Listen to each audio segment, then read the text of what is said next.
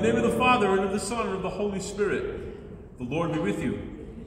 Hello, everybody. Thank you for saying yes. I'm going to keep Sunday holy. Some of you were with us last Sunday and you started to put into your life those practices of keeping Sunday holy, keeping the Sabbath holy for Christians. Diane, what day is the Sabbath? Sunday. Sunday. Good answer. Diane. Jess? Well, I was going to ask you a different question, but that's okay. Sunday, Sunday, Sunday. Right? And you cut out social media, you cut out the news, you cut off those negative voices. But the devil's always going to try to be whispering to you to pull you away. For the times maybe you said yes to sin, for the times that I said yes to sin, let's say no to that now. And yes to the Lord Jesus, prepare our souls to receive Him in communion, here sacramentally, there spiritually.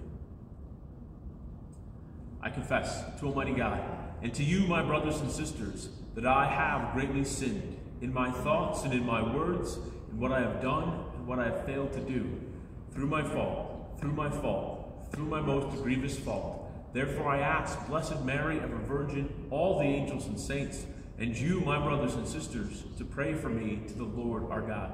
May Almighty God have mercy on us, forgive us our sins, and bring us to everlasting life. Lord, have mercy. Christ, have mercy. Lord, have mercy. Glory to God in the highest, and on earth peace to people of good will. We praise you, we bless you, we adore you, we glorify you, we give you thanks for your great glory. Lord God, heavenly King, O God, Almighty Father, Lord Jesus Christ, only begotten Son, Lord God, Lamb of God, Son of the Father, you take away the sins of the world. Have mercy on us. You take away the sins of the world. Receive our prayer. You are seated at the right hand of the Father. Have mercy on us. For you alone are the Holy One. You alone are the Lord. You alone are the Most High, Jesus Christ, with the Holy Spirit, in the glory of God the Father. Amen. Let us pray. Keep your family safe, O Lord, with unfailing care, that relying solely on the hope of heavenly grace, they may be defended always by your protection. Through our Lord Jesus Christ, your Son, who lives and reigns with you in the unity of the Holy Spirit, God, forever and ever. A reading from the book of Job. Job spoke, saying, Is not man's life on earth a drudgery? Are not his days those of hirelings? He is a slave who longs for the shade, a hireling who waits for his wages. So I have been assigned months of misery, and troubled nights have been allotted to me. If in bed I say, When shall I arise? Then the night drags on. I am filled with restlessness until the dawn. My days are swifter than a weaver's shuttle. They come to an end without hope. Remember that my life is like the wind. I shall not see happiness again. The word of the Lord. Thanks be to God. Praise the Lord who heals the brokenhearted. Praise, Praise the, the Lord who heals the brokenhearted. Praise the Lord, for he is good Sing praise to our God, for he is gracious. It is fitting to praise him. The Lord rebuilds Jerusalem. The dispersed of Israel he gathers. Praise, praise the, the Lord who heals the, the brokenhearted. He heals the brokenhearted and binds up their wounds. He tells the number of the stars. He calls each by name. Praise, praise the, the Lord who heals the brokenhearted. Great is our Lord and mighty in power. To his wisdom there is no limit. The Lord sustains the lowly, the wicked he casts to the ground. Praise, Praise the Lord who heals the brokenhearted. A reading from the first letter of St. Paul to the Corinthians. Brothers and sisters, if I preach the gospel, this is no reason for me to boast, for an obligation has been imposed on me, and woe to me if I do not preach it. If I do so willingly, I have recompense. But if unwillingly, then I have been entrusted with the stewardship. What then is my recompense? That when I preach, I offer the gospel free of charge, so as not to make full use of my right in the gospel. Although I am free in regard to all, I have made myself a slave to all, so as to win over as many as possible. To the weak I became weak, to win over the weak.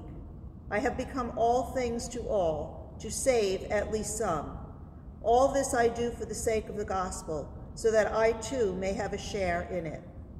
The word of the Lord. Thanks be to God. Alleluia, alleluia.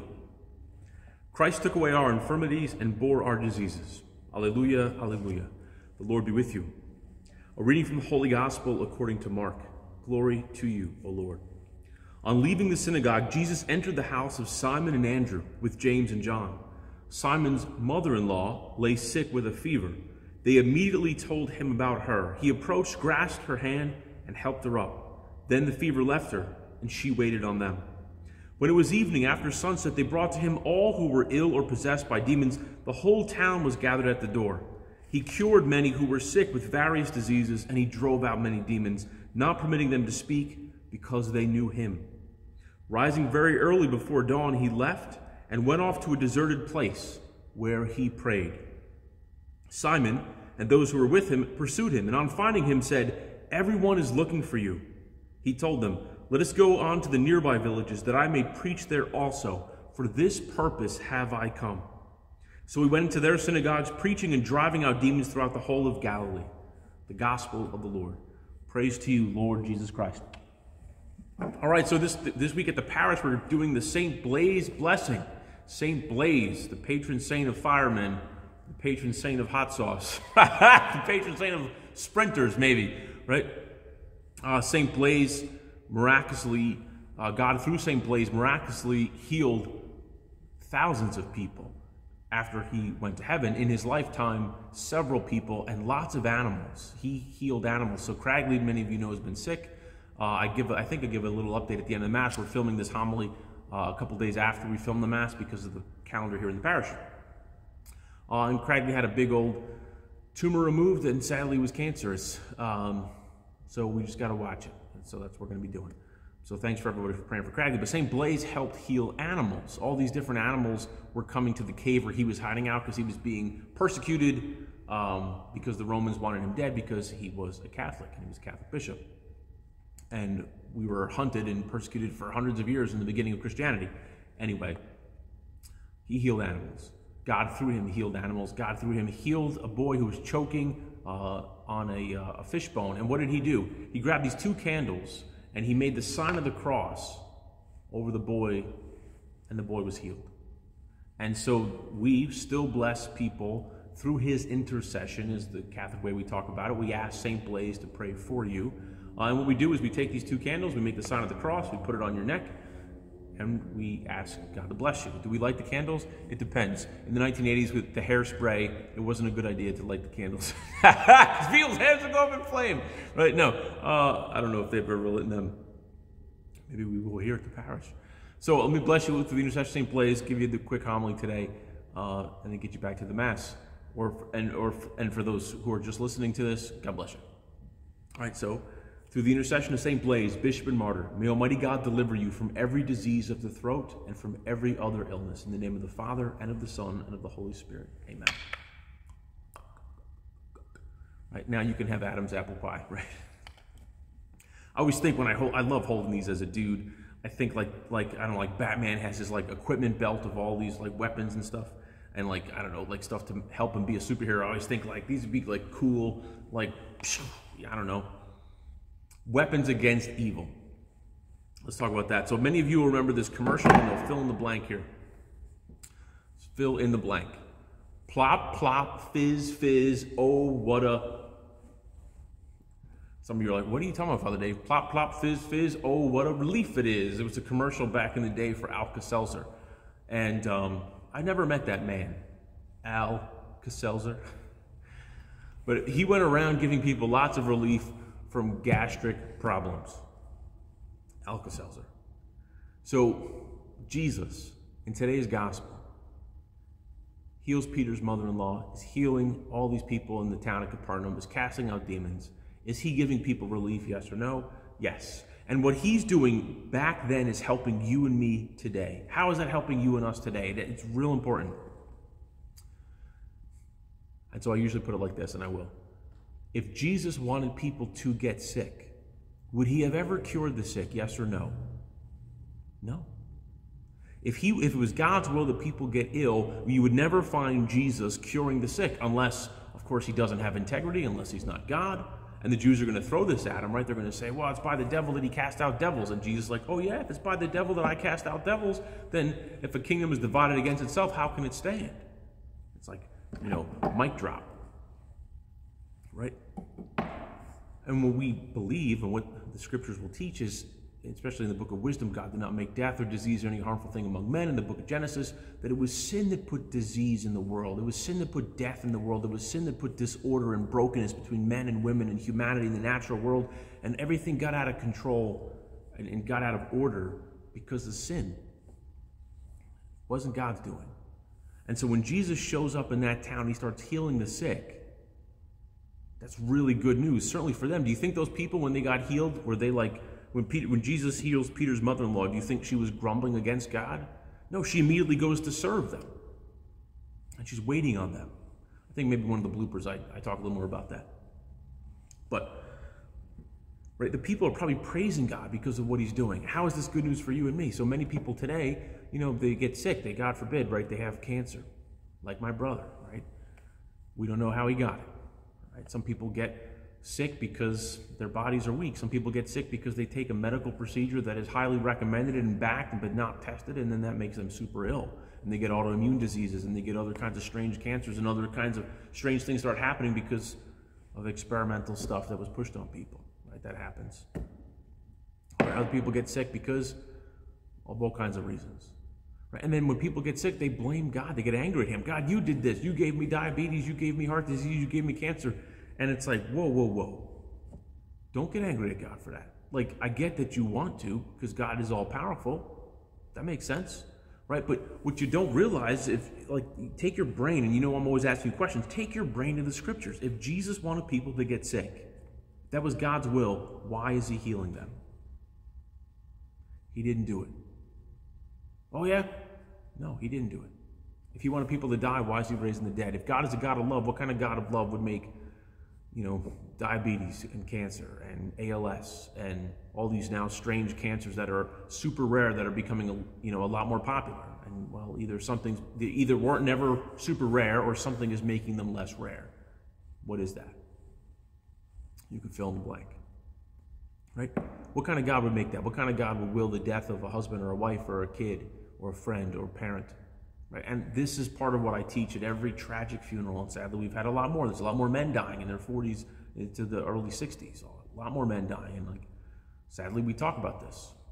Right? So you get a little taste of that today. So this is how it helps us because you should know when you have any kind of illness come into your life, that wasn't God's will. He didn't do that to you. And if you get angry at him, it's like getting angry at the mailman for the rain. And this literally is what I use at these funerals to try to help people see through this. You, can you get angry at the mailman for the rain? Yes or no? I say yes, you can get angry at the mailman for the rain, but you would be the idiot. The mailman has to work in spite of the rain. He did not do it, and he's there no matter what. Right? Neither rain nor sleet nor fear of night, except for government holidays, they're delivering the mail. Right? All right, so Jesus in this town is healing the sick. That shows us that's not his will that we be sick. And what does Jesus do? He goes and he prays in early in the morning, he gets up early. And right now that shows us something that it's, you know, sometimes the best times to pray are super early in the morning or late at night. Jesus probably learned that from St. Joseph, right? St. Joseph probably prayed early in the morning, and then he had his shop, his wood shop, and he's doing carpentry work or going to a house and, you know, I don't know, putting up a roof or something like that, um, building a back deck or whatever, you know, they would do. And then at nighttime, they'd have family time, dinner time, and then St. Joseph probably prayed in the evening right? He needs some space to get away from his wife because she just wants to talk all day, right? He's like, all right, Mary, chill out, right? now. maybe you gentlemen out there know what I'm talking about, right? St. Joseph comes home and says, Mary, how was your day? I'm sure it was lovely, right? She's she has to carry the water. She's got to work and like all that stuff. But anyway, when the day starts, sometimes it can get away from you. And so having that habit and that discipline of praying early in the morning and praying late at night, really helpful. So Jesus does that. That's a good model for us. But in that time of prayer, Jesus, what is he focusing on? We know what he's focusing on because everyone finds him and, and they're like, hey, Jesus, all this town, there's more people that want to find you. He's focusing on what his mission is. So the mission of Alka-Seltzer is to give people relief. Is Jesus' mission to give people relief? Yes or no? Say no. yes, him doing his mission will give us relief, but that his purpose is not to relieve us. His purpose is to save us. God so loved the world, John 3:16, right? He gave his only begotten son that whoever believes in him might not perish but might have eternal life. Jesus is coming into the world, and this is why casting out demons is important. He's coming into this world to save us. He's not coming into this world to relieve and heal every single sick person of all of their sicknesses. His healing of the sick is pointing to a deeper sign of him healing humanity from the sickness of sin that the devil introduced to this world. People tend to forget the story where it doesn't start with Adam and Eve. There was a previous rebellion that happened in the angelic order that God makes angels and he makes them free, just like he makes us free. And if he makes you free, you can use your free will to help someone, to give someone else relief. Or you can slap someone in the face and you can cause harm and spit on people and, and whatever, you know. If you're free, you can use any you can use that freedom for anything, to harm others or to help others. And one of the angels used its freedom for itself, to think of its own glory, and didn't want to participate and play with others and cause a rebellion, and then introduces this idea of sin into the human into the human world, into Adam and Eve, and they say yes to it, right? Eve is free, she says yes to sin. Adam is free, he could have said no to his, what his wife wanted to do, but he says yes, right? Like many boyfriends, you have a girlfriend that wants to sin, well, I guess we'll just have to do what you want to do. No, you say no to that. Adam said yes. And here we are, right? And sin throws everything into chaos and the you know the wages of sin are death right? And so you have now disease and death and brokenness again and the whole history of hurt.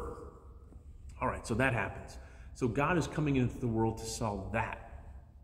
Right? If you think of like you know imagine it would be a crazy world where you would have scientists that would like find diseases and then say you know what we're going to do you know we're luckily this disease does not hurt humans but what we're going to do is like, I mean, this would be incredibly stupid or incredibly arrogant. You know, what we're going to do, we're going to have a special place, we're going to find diseases, and then we're going to like hop them up. We're going to increase the ability of this disease to make it more deadly so that it could harm and kill humans. That's what we're going to do so that then we could develop a defense against it in case that ever like happened. But it didn't happen, but we're going to make it happen. And you think that, the, like that must be stupid.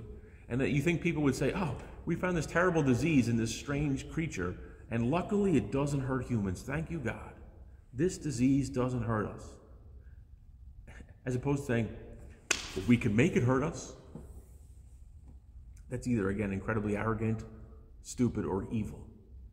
So let's say people do this and they find a disease and then they like torture animals and they put them in cages. Let's say ferrets, maybe, right? Ferrets or minks or something like that. And they put them in cages next to each other and this one is sick. And then they, they make it like in an area where it can cough and sneeze on these other ones. And these poor other creatures, instead of having a wonderful life, now they're getting tortured, right? So that they can see if they can get this disease to spread to this one and they can give it new functions and they can maybe even patent a small area of it, take like a, I don't know, a grappling hook ability of one, you know, kind of virus and give it to another and patent that so they can make money on this kind of thing, right? This is horrific. I'm sure this would never, ever happen in the real world because it's insane to do this. Oh, but maybe big money can help this because who knows, right? And so then you can create a new capacity for a disease. So let's imagine a virus that is, you know, gets people sick, like the cold. And then they give it a new capacity to cause poison ivy kind of bubbles. Imagine that, right? And if you have this virus, you get really sick, but then you get all this crazy like bubbles and blisters, and you just want to itch, itch, itch. I used to get poison ivy a lot as a kid, not so much anymore, right? So they give a virus a new function, let's say, right? They give it a new, it has gained something, right? All right, so let's say whatever you're living your life, and then suddenly you get this virus, right? And this virus is in your bloodstream, but it also manifests this like itching ability, and you're getting hives and you're getting these blisters, right? These uh, bubbles. And so you go to the doctor. Why do you go to the doctor? Because I'm sick, Father Dave. Yes, you go to the doctor because you're sick. You go to the doctor because you have this thing in your bloodstream. And you go to the doctor because you're itching like a madman or a madwoman. You got all these, you know, you're like taking baths in calamine lotion. You look pink or you're, you know, the clear version, you know, you look crusty. I say, Doctor, help me. Is it your doctor's mission to stop every single bubble from itching? Yes or no? No. Your doctor's mission is to help you get well. And so he or she is going to give you, let's say, uh, how about an antiviral? Because you don't just fight viruses, for example, with vaccines, there's antivirals. Why wouldn't you only limit yourself to one way to fight a virus? Why wouldn't you use antivirals, right? So he's going to give you an antiviral that will, in fact, help kill the thing in your bloodstream. That's a good idea. That's not a novel idea to you, Father Dave. I'm not a doctor. It just makes sense. I was a philosophy major. I think about things. It seems to make sense. So your doctor gives you an antiviral, and maybe they give you a topical solution that helps reduce the itching of some of the bubbles. But your doctor's purpose is to solve the disease that's deep inside of you, and not only the manifestation of the bubbles on your epidermis, on your skin, right? Jesus, his mission is not to heal every single sick person. His mission is to save all of us. And he does so by himself experiencing the full weight of the devil's decision, right, of sin and death. And he sees and, and knows how it hurts us. Right? When you have a dog or cat that's sick and it looks to you and it's in pain, that hurts you because you see it suffering. Right? Jesus sees human suffering and human evil, and it hurts him, and he'll suffer and die from it. And then he rises from the dead and he saves us. Right? And that's his mission. When you find him again healing the sick, it's pointing forward to like, hey, I'm healing the underlying disease that's causing all of these bubbles. All right? But it gets even better. Again, the devil has free choice, and so it introduces sin and disease and death. There's that. All right? But what God has decided to do is like flip that on the devil's head. How does he do that, Father Dave? He does it by one, eliminating the outcome. So, you know, sin and disease and death are no longer going to lead to eternal ostracization from God if you simply believe in Jesus. If you profess your faith in Him and give Him your life and trust Him, then you share in His death and you share in His resurrection. So there's that. Second, He has chosen to reward you and me for how we deal with the itchy bubbles. And the itchy bubbles are suffering that comes to us, right? Job in the first reading, right? He's a man of faith, and the devil thinks, well, I'm going to throw disease at Job and his loved ones and cause all this suffering, and I can get Job to deny you, God. And God believes in Job. And the challenge for Job is to continue to believe in God and not lose faith in him, not speak bad about God, even when suffering and disease comes to Job. Right? And that's Job. You have to read the book of Job to find out what happens, right? So the Job, the job for each of us is to maintain faith in God, even when we see incredible suffering in the world, and even when disease comes into our life. Jesus does not lose faith in his Father, even when he's suffering on the cross. And so what God has decided to do is not just flip the outcome of the devil's decision, but he says, you know, if my people endorse, carry the cross, is how we say it as Christians, if they endure their suffering with faith, I'm going to reward them. And if they help relieve some of the suffering of other people along the way, I will reward them. When I was hungry, you gave me to eat. Come into your father's house. When I was thirsty, or someone who was super thirsty, you gave me to drink. When I was sick, right, or, or in prison, you visited me. That like what God has decided to do is to pull the rug or the carpet or the tablecloth out from the devil's decision. So the devil's pleased that creation is now suffering and broken. And God says, All right, well, I'm going to solve all of that at its core and I'm going to reward all my people for the way that they endure and relieve and give aid to people who are suffering. And that gets the devil pissed off, frankly. Sorry, I don't know another way to say it. Gets him really angry, but that's a better way to say it. Right? Don't say that if you're a kid. All right? so for us, right? How does this relate to us this week? So your mission is your vocation right? You're a husband, you're a wife, priest, you're a nun, you're a mom, you're a dad, you're a grandfather, you know, a grandmother, right? You, you have your vocation. And in your prayer times, in the morning and at nighttime, God clarifies and strengthens you for that. But along the way, if you have opportunity to help give ease to someone in their suffering, to give a little bit of relief to someone, do it. And that could be simply a joke. You see someone struggling in an awkward situation, make a joke not at their expense, but make a joke to ease the suffering. Or someone's coming to your house, you know, can you do something to give them a little bit of rest? Or visit the sick, you know, feed the hungry, help at an animal shelter. Like, you can't save everybody, God can. Right? You can't give relief to everybody. You're not Alka-Seltzer, but you can give relief to somebody. And every day, I bet there's someone in your life that you can look to give a little bit of relief to.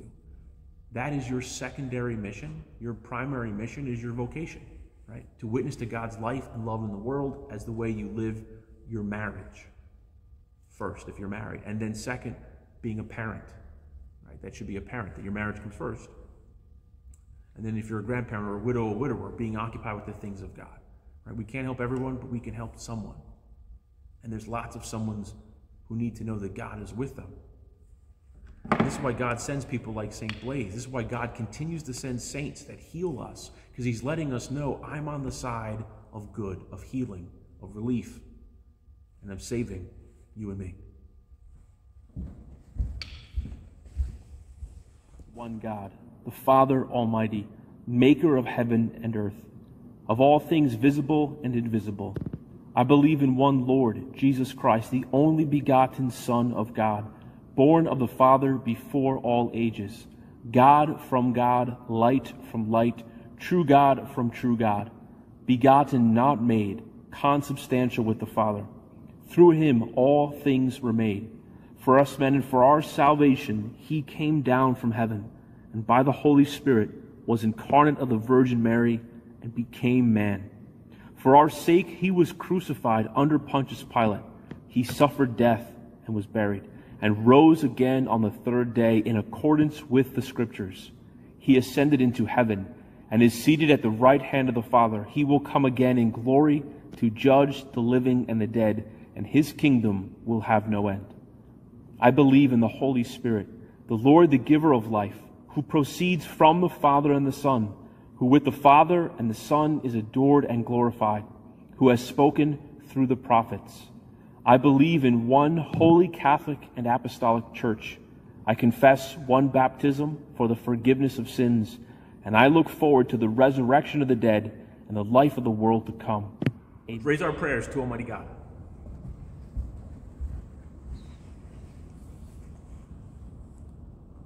For church leaders, may the Holy Spirit continue to inspire them in faithfully preaching the good news of the gospel let us pray to the Lord. Lord, Lord hear, our, our prayer. prayer. For elected officials, may God grant them integrity in protecting all who are vulnerable, especially the poor, the elderly, and the unborn. Let us pray to the Lord. Lord, Lord hear, hear, our, our prayer. prayer. For all who struggle with disabilities, may God's strength accompany them in their hardships. Let us pray to the Lord. Lord, Lord hear, hear, our, our prayer. prayer. For all of us gathered in this holy place, May the grace of this sacrament transform us in the image of Christ's love and mercy. Let us pray to the Lord. Lord, Lord hear, hear, our, prayer. prayer. For all who have died, may our loving God soon bring them to eternal union with him in heaven. Let us pray to the Lord. Lord, Lord hear, hear, our, our prayer. prayer. For the end to coronavirus, let us pray to the Lord. Lord, hear, our, our prayer. prayer. For peace in the world, especially the Holy Land, let us pray to the Lord. Lord, hear our prayer. For those suffering from cancer, that they may be healed, let us pray to the Lord. Lord, Lord hear, hear, our, our prayer. prayer. And now for those petitions we hold in the silence of our hearts. Let us pray to the Lord. Lord, Lord hear, hear, our, our prayer. prayer. We pray for our military men and women, and we pray for parents also of young people who are going to join the military. May they all be kept safe. We pray to the Lord. Lord, hear our prayer. We pray for those who struggle with their mother-in-laws and for mother-in-laws who struggle with their sons and daughters-in-laws. May Jesus, the bringer of peace, help them all. We pray to the Lord. Lord, hear our prayer. Almighty Father, turn toward us and hear the prayers you inspire us to ask. We ask them in faith through Christ our Lord.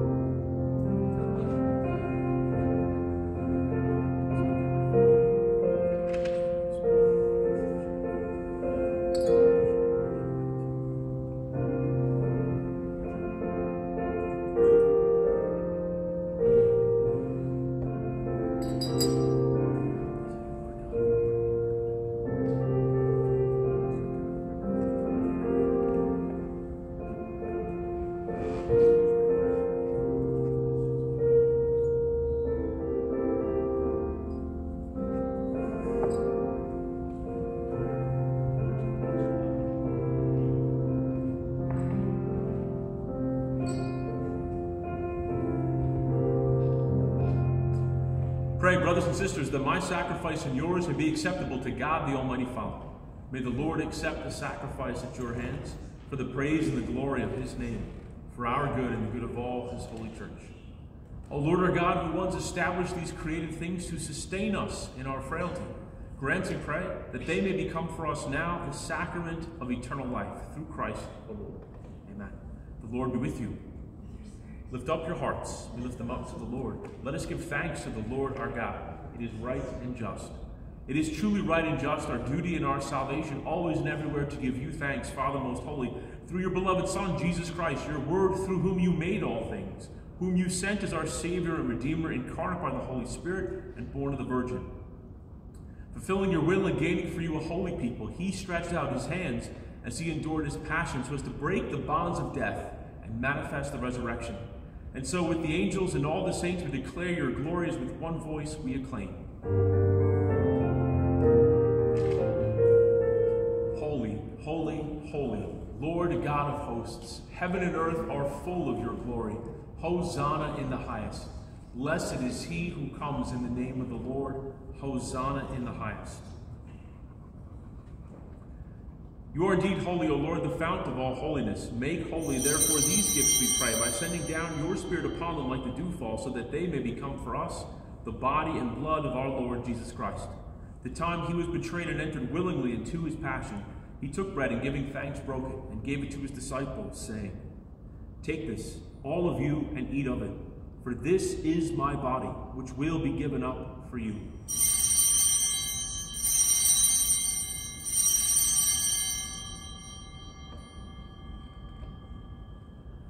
In a similar way, when supper was ended, he took the chalice, and once more giving thanks, he gave it to his disciples, saying, Take this, all of you, and drink from it, for this is the chalice of my blood, the blood of the new and eternal covenant, which will be poured out for you and for many for the forgiveness of sins. Do this in memory of me.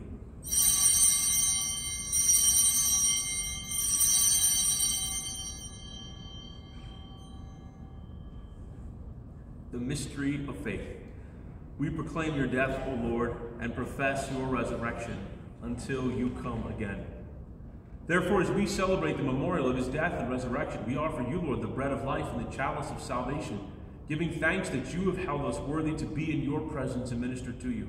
Humbly we pray that partaking of the body and blood of Christ, we may be gathered into one by the Holy Spirit. Remember, Lord, your church spread throughout the world and bring her to the fullness of charity, together with Francis our Pope and David our Bishop and all the clergy. Remember also our brothers and sisters who have fallen asleep in the hope of the resurrection and all who have died in your mercy. Welcome them into the light of your face. Have mercy on us all, we pray with the Blessed Virgin Mary, Mother of God, Blessed Joseph, her spouse, the blessed apostles, Saint Martha, Saint Therese, Saint Jude, and all the saints who have pleased you throughout the ages, we may merit to be co-heirs to eternal life, and may praise and glorify you through your Son, Jesus Christ. Through him, and with him, and in him, O God Almighty Father, in the unity of the Holy Spirit, all glory and honor is yours forever and ever. Amen. At the Savior's command, informed by divine teaching, we dare to say, Our Father, who art in heaven, hallowed be thy name. Thy kingdom come, thy will be done, on earth as it is in heaven. Give us this day our daily bread, and forgive us our trespasses, as we forgive those who trespass against us. And lead us not into temptation, but deliver us from evil. Deliver us, Lord, we pray, from every evil. Graciously grant peace in our days, that by the help of your mercy we may be always free from sin and safe from all distress, as we await the blessed hope and the coming of our Savior, Jesus Christ. For the kingdom, the power, and the glory are yours, now and forever. Lord Jesus Christ, who said to your, said to your apostles, Peace I leave you, my peace I give you, look not on our sins, but on the faith of your church, and graciously grant her peace and unity in accordance with your will, live and reign forever and ever. The peace of the Lord be with you always. Let's offer each other the sign of peace.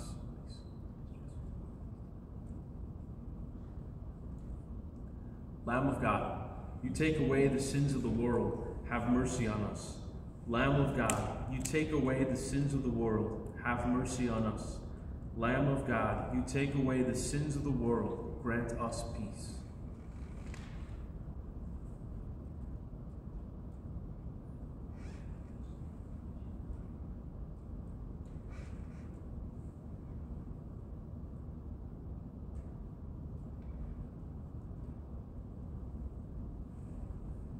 Behold the Lamb of God. Behold him who takes away the sins of the world. Blessed are those called to the supper of the Lamb. Lord, I am not worthy that you should enter under my roof, but only say the word, and my soul shall be healed.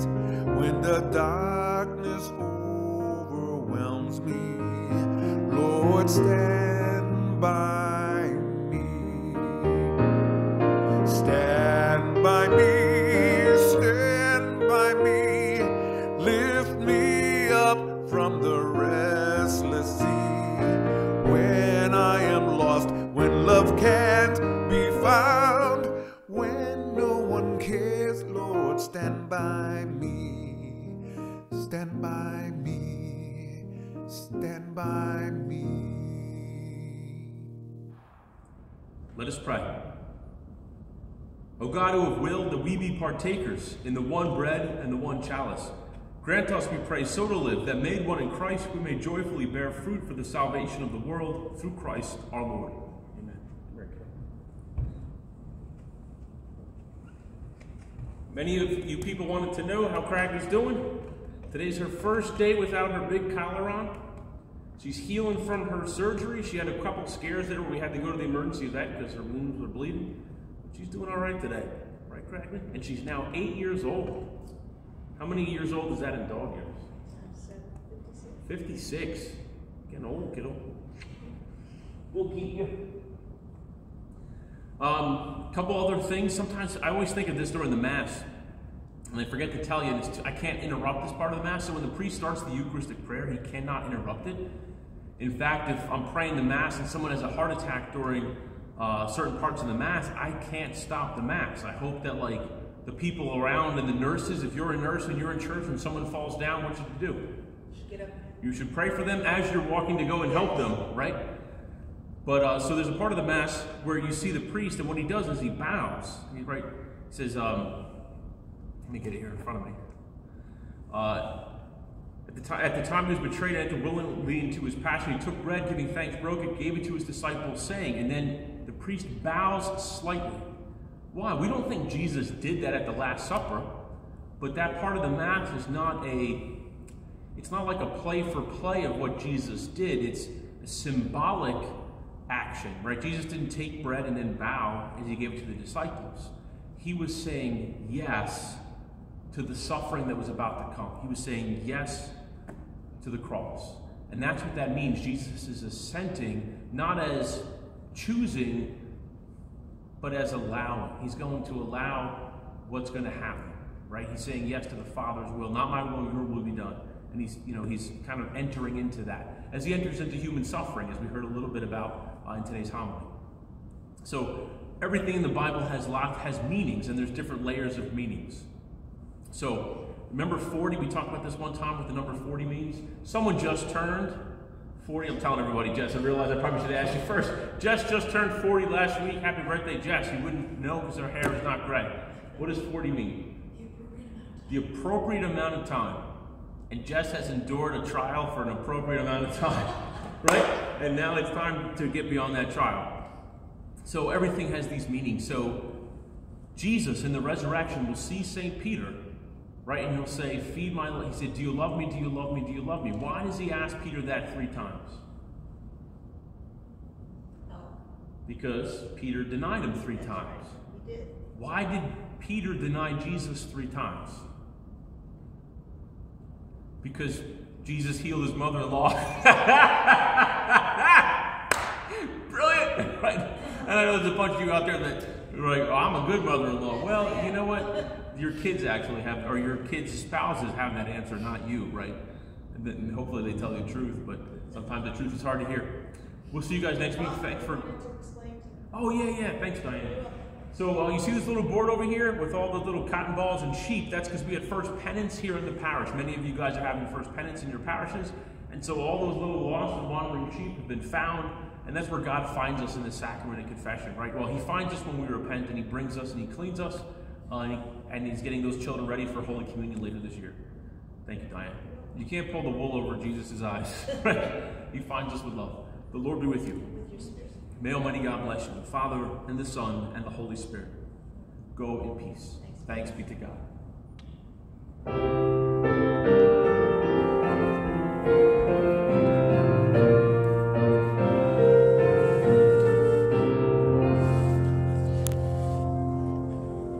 Look at that great picture. Cragley, are you a happy girl? Yes, you are. Important piece of this gospel. Just a small note. You'll note that Jesus heals Peter's mother in law, which means Peter was married.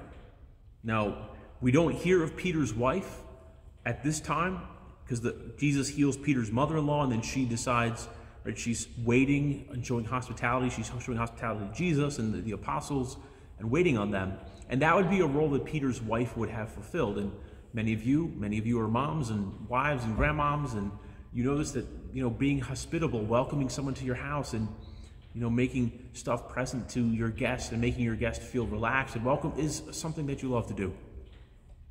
When I went to my best friend's uh, house when he was newly married, you know, um, I've, I've known him for, I don't even know, 20 something years. He'll, Joe, you'll, you'll tell me after. He watches our Mass every week. He'll call me and tell me. Well, apparently I made a big flaw because, you know, I went to their house, uh, him and his new wife, and it was a beautiful home at the time. They have a new home now. And, uh, you know, used the restroom, you know, washed my hands and went back to our conversation hanging out. But apparently the mistake I made is I didn't comment on the bathroom. apparently, like, this is a thing you have to do, is comment on how clean and nice the bathroom is and how nice the candles are or whatever. I don't know. So I wasn't invited back for a while. and now they just renovated their bathroom, God bless them, and their new bathroom out there. I haven't seen it yet. I heard they renovated it. Maybe they'll invite me. I'll be sure to comment upon it. Right? But there's things you have to do when people are being, you know, welcoming to you into their house. That's a great joy. And Jesus says, What you do for the least, do for me. So that's a kindness. But back to this. So Peter was married because you don't have a mother in law unless you were married, right? Like you don't have the burden of a mother in law unless you have the blessing of a wife or a husband, right? And I'm sure there's some great mother in laws out there. There's at least two of them somewhere, maybe, right? We'll, st- we'll save our mother in law jokes for later. But Peter, because we don't hear of Peter's wife welcoming Jesus and serving and being hospitable, which is really big for the Jewish people, we think of Abraham, Peter is probably a widower. That's what the church fathers think when they write about this and talk about this, that he's probably a widower. Which means he, you know, had a, a normal life and went through the pain and the grief of losing a spouse. But God hadn't given up on him. He doesn't give up on us, right? And here he has got a new mission for Peter.